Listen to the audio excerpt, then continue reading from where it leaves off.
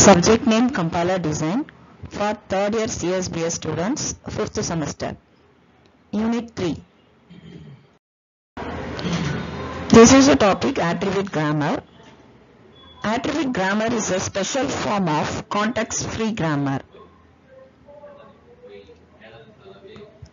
And then some additional attribute informations are added to one or more of its non-terminal in order to provide context-sensitive grammar. And then which is help to specify the syntax and semantics of the programming language. So this grammar equation gives the example of attribute grammar E which implies E plus T that is E dot value which is equivalent to E dot value plus T dot value that is the combination of E dot value plus T dot value are added and it will be stored on E dot value. The values of non-terminals E and T are added together and the result is copied to the non-terminal E. There are two types of attribute grammar. First is a synthesized attributes, second is a inherited attributes. Synthesized attributes can get values from the attribute values of the child nodes. It will never take values from their parent nodes or any sibling nodes. For example, S implies ABC means S will take the values of the child nodes A, B, C. It will not affect siblings or any other nodes. In the inherited attributes can take values from parent and or siblings. For example, S implies A, B, C. Here, this A can take values from S, B and C also. Suppose if you are taking B, this B can take values S, A and C.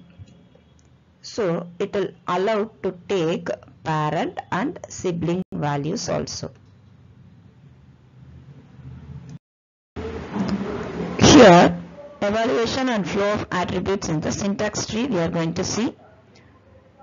So we need to know what is parse tree. Parse tree is a hierarchical representation of terminals or non-terminals. So this tree is called parse tree because internal nodes are non-terminals and leaf nodes are terminals. So this is a syntax trees. So syntax trees are abstract or compact representation of parse trees. So we can also call the abstract syntax tree. So this is a parse tree given and then nearby syntax tree is also given. Syntax tree having operator or the internal node and operands are external node.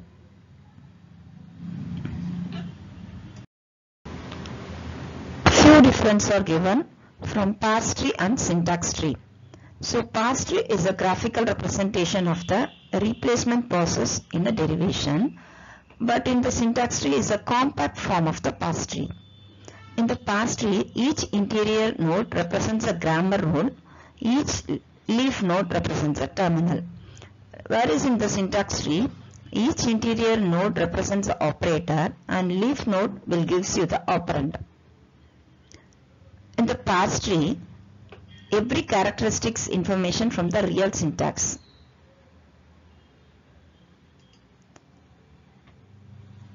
The syntax tree, it, it will not provide every characteristics information from the real syntax.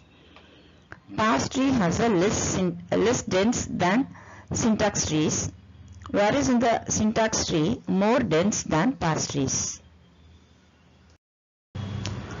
So this is a example for doing the parse tree, syntax tree and directed acyclic graph. So the grammar is given E implies E plus T or T. T implies T asterisk F or F and then F implies E within the parenthesis or ID. So these three equations, by using these three equations, we need to generate the string ID plus ID asterisk ID.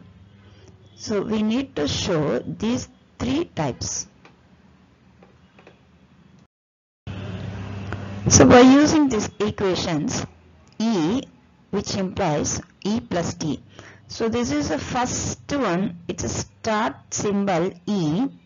Start symbol E gives you the grammar E plus T. So which is E plus T. And then so E having one more non-terminal T. So we can represent T for E. And then one more T is also possible. T, what is the uh, T is there? T implies T asterisk F. So we can draw it on the right hand side. So below the T we can draw T asterisk F. So we know that T is uh, having two values T asterisk F and one more value is F. So instead of T we can write F. So here we represent F and one more T we represent F. So and then so we can see F implies parenthesis E or ID. So we need to bring into the format ID plus ID into ID. So we can take this ID for F and then we can replace the value in the parse tree. So F gives ID and then one more F. This F is also gives ID and then finally one more F is there. So here also we can represent ID so now we form the given format. We we concluded this one. We found this one.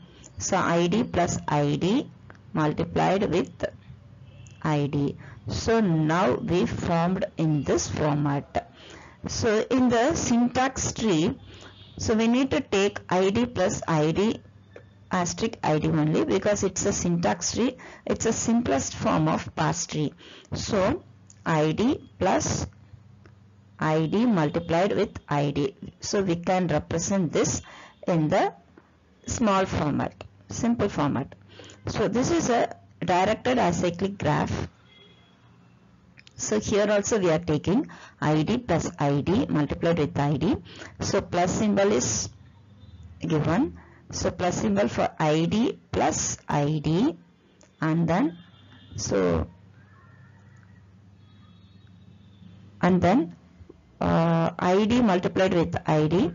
So id this id is multiplied with id two times. So id multiplied with id.